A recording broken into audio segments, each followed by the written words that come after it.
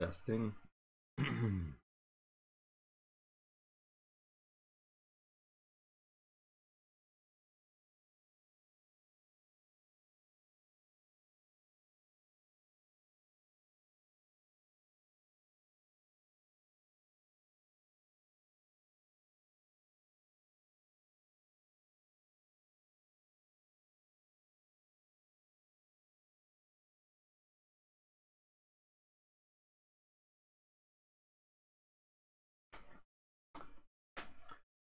Hey, can you hear me okay?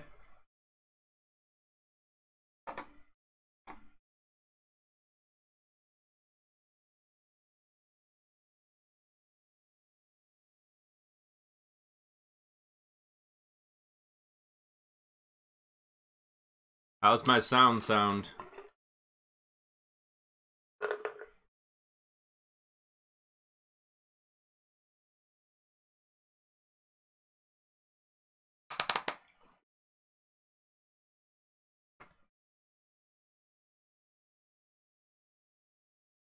Today I'm thinking about talking about different types of slicers and uh, ways to print.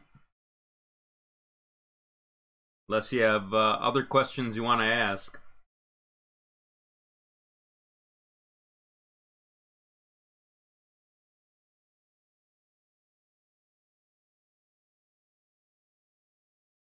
Hey, Happy Rob. Long time no see. Trying to remember if it's Holland or someplace in uh, Western Europe that you're from.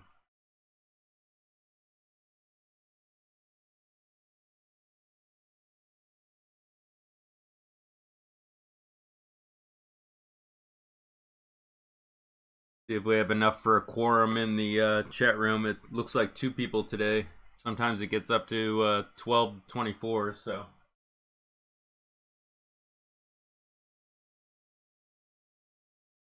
How's your uh, printer working, Rob?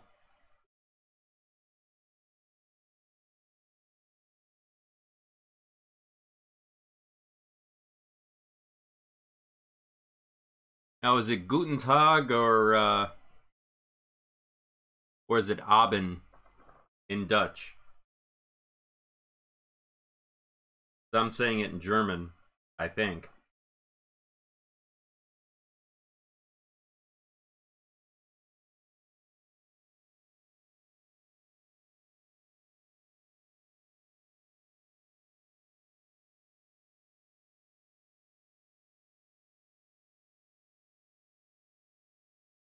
Let's see. So far, only two people. Must be a slow day. Do uh, anybody have any questions on stuff that uh, I haven't really covered close enough? Because if not a lot of people are showing up, I can talk about something else. Guten Avadon? Is that like morning? Or is that late afternoon?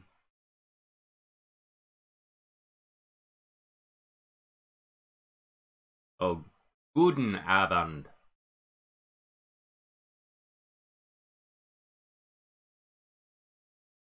I'm probably mangling it a little.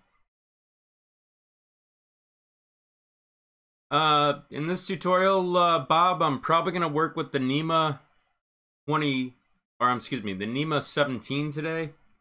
I'm just going to show functionality and how to work with uh, different types of slicers and ways to communicate with uh, the actual printer. I got a couple questions uh, in the morning about it, so I thought I'd talk about it. It might seem kind of like a uh, dry subject, but it's kind of important. So I'm going to start off by talking about first uh, Pronterface. Pronterface is uh, a combination of a serial connection to the printer, as you can see right here. Let me see if I'm plugged into it. There we go. So I'm going to connect to the actual board that you see below. And the first thing that I want to do is uh, show you the end stops. As you can see, there's only one connected, but two say open. There might be something modified on the board that's causing that to occur. But I'm going to plug this in for a second. Hopefully we won't see any sparks. And uh, I'm going to move the x-axis. So you can see it moving there. Some of the things that are important about this is if you run into a problem with your printer, there's several places you can look in Pronterface. In Pronterface, you have uh, debug communications. So you can click here and if you send a command, you might see more about it. Then if you move the actual stepper, you might see what the actual uh, commands are for that. Like right here, G, 0, X10, and then F3000. That's talking about the actual movement for G0, being the G code. That's kind of important if you're trying to figure out what's going on. But also the debug will tell you what temperature you're functioning at right now. Obviously the temperature doesn't look right for what I'm doing because I don't have an actual thermistor connected. So it's bare wires over here or non-connected thermistors. So I'm going to turn off this for a second. The other thing that's in Slic3r, or excuse me, the other thing in Pronterface is Slic3r. So you can actually have different modes to slice in. This is just like Cura. So I'm going to see if I can open up the slicer from here. So slicing settings.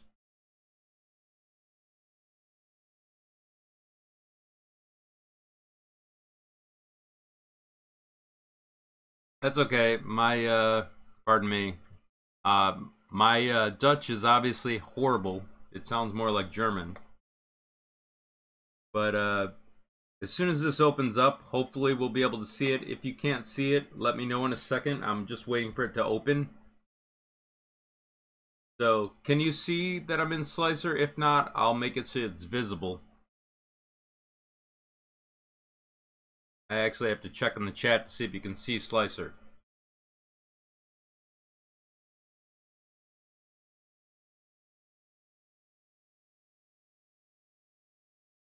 Yeah, I was able to install Marlin, but I don't know which Marlin you're talking about because I had a problem with uh, with my Python setup last night that I fixed on the fly. Okay, so hang on a second. Let me get Slic3r so you can see it.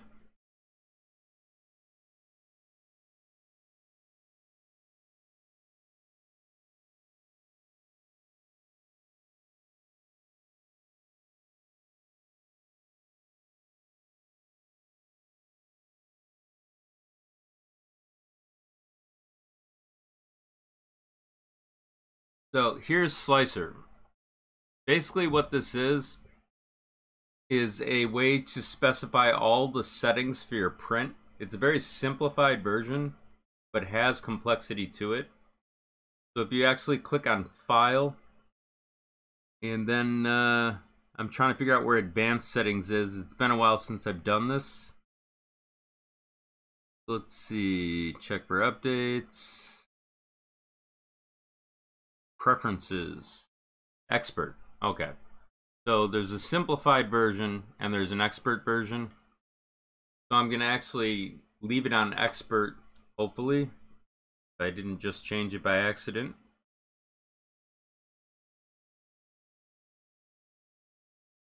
No, it's fine. So inside here, we have layers and perimeter. So as you can see, it says what the step layers are. This is very big step. It's meant for a, a hot end that has a hole in it of 0.4 millimeters, I believe. But we can check that actually in Slic3r. So I think it might be under filament settings. Here we go. And it shows a tooltip. In this case, it's 3 millimeters, but normally it would be 1.75 that gives you an idea of where you're setting things and then you can set your extruder temperature to begin with and you can also set your bed temperature if you so choose and it says basically what you want to set it to. You can even set the color, but that's not really setting a color. Then there's cooling. Talks about fans. There's an always on fan. So this gives you greater control when you export to a G code, being a file. And then there's other settings for actually fill. So most fills are going to be 20% by default, and then there's different patterns. I used to love the honeycomb pattern, but uh, it doesn't really matter to me anymore. And then there's uh, top fill and bottom fill, and you can have a lot of fun with that too. Um, I know this seems kind of dry, but I'll show you how it relates in a second. Let me see if I can find the actual, uh, there's a main menu for here. It might need a configuration wizard, so let me click on this real quick. I'm going to set it up for Marlin, Sprinter, or Repetier. I'm going to say it's 20 by 20, or excuse me, 20 centimeters by 20 centimeters, which is 200 millimeters, obviously. And the print head, I'm going to say is 0.4 millimeters. And then I'm going to set the diameter to 1.75. I'm hoping you can see this pop-up window. I'm pretty sure you can. Then bed temperature I'm going to set to 30 or excuse me, 60.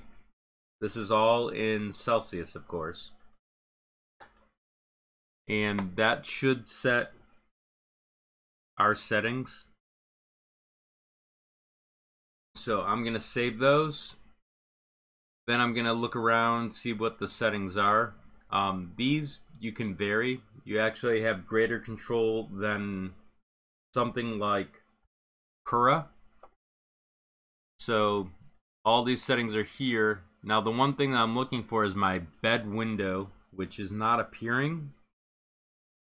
So what I'm going to do is actually open it a different way. So I have to go over to my uh, desktop here to pull it up.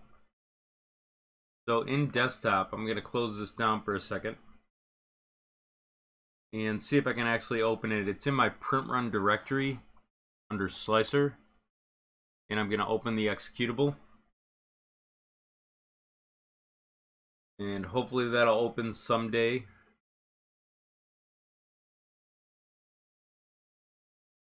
Looks like it's already open.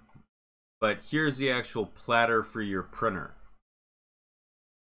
So what we're going to do is actually add something to it. I just got to find something. So I'm actually going to go over to Thingiverse for a second and see if I can pull something down.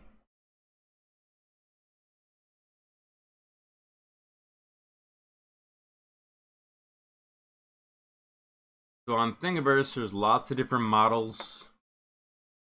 So I'm going to look for a cube for calibration.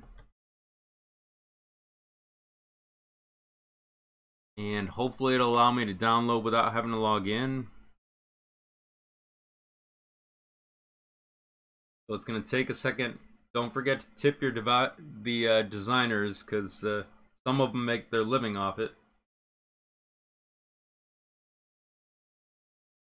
So once that's downloaded, you're going to go over to your downloads folder. You're going to right click on it. You're going to extract all, not zip it. And this will pull down the information on your board, or excuse me, on your model that you pulled down. They have images over here so you can see what it looks like. And then they have the actual model right here. So I'm going to go back to Slic3r and show you what occurs. I'm going to add it in Slic3r. I'm going to go to my Downloads folder.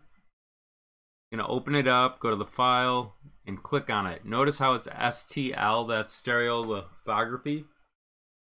I'm going to open it up, and it's going to show me size to the platter, what it looks like and what the dimensions are and where they are. So X is going to be your front, and then left side, or excuse me, right side is going to be your Y, and top is Z. So it gives you a bunch of different options. You can resize this in Slic3r. So if you want to set a different size, you can scale it. You can scale it in one dimension uniformly, all that stuff. But the other thing that you can do is you actually can do your G codes. So you can export them for a print. So what I'm going to do first is I'm going to look at the settings and see if I can set something obvious.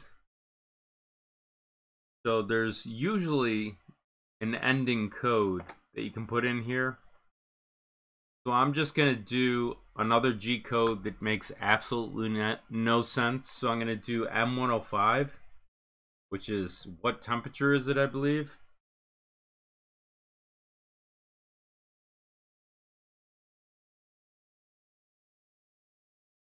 And I'm going to save that. And the reason I'm doing this is just so you can see the ending of the script, what's going to occur. And it's something obvious. So I'm going to slice it. And what this does is it's going to create a file name for this. Of course, my computer's running slow because I've got the stream going and the computer.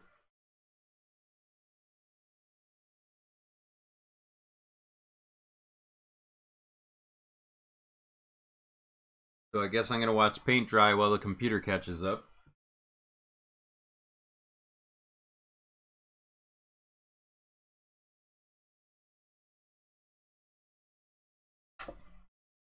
Well, that's working real well.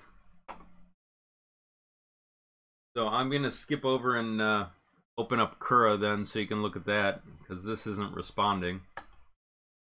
It might have to do with what I'm working with. I'm going to open up Kura. Cura is the same concept. It's all integrated into one package. It's a little bit easier for people that just started using it. But while this is loading, I'm going to go over and check on the chat.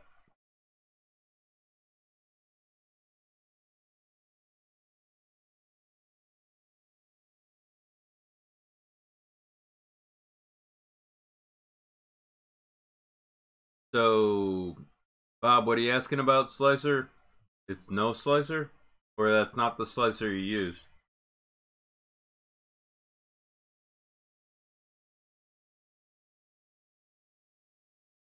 So let me check to see if it's come up. It looks like it is going to come up someday.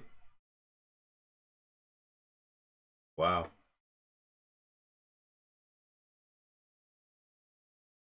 Apparently Cura's taking a while to load as well. It might have to do with my Firefox eating up all my memory here. Okay, let me set it up so you can see it.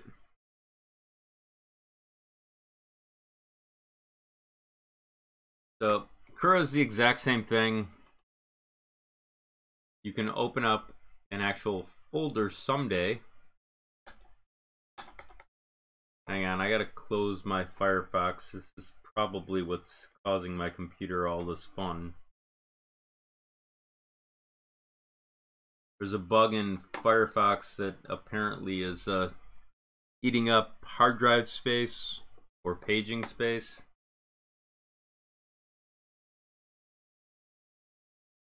Oh.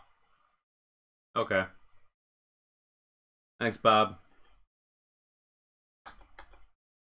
Apparently my computer's a little bit hung, so maybe we should talk about something else while uh, I figure out what's going on with my computer. I have a funny feeling that uh, Firefox uh, might be a bad choice for browsers right now.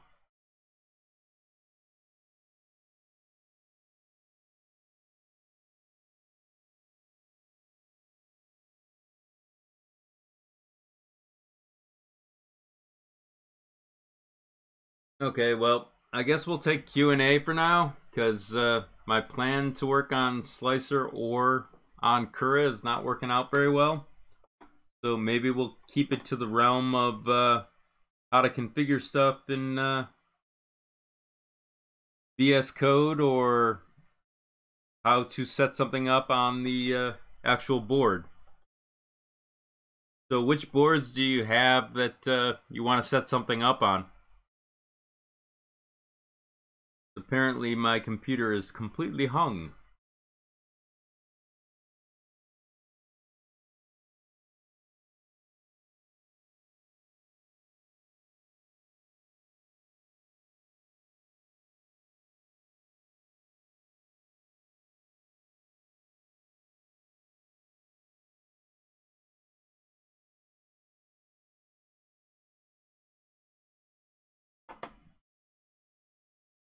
Well, anybody got any questions today, or uh, we just gonna hang out and chat?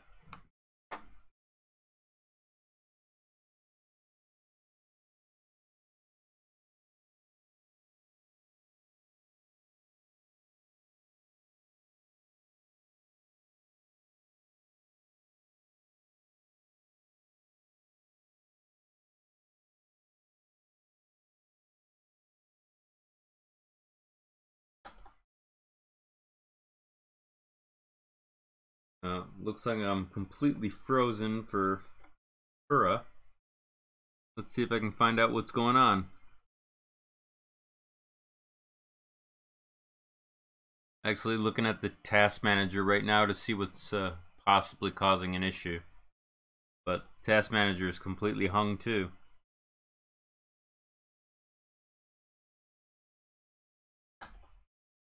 Okay, well, I guess we're gonna cut it short today if uh, everything's hung on me. Or you can give me 10 minutes to come back online.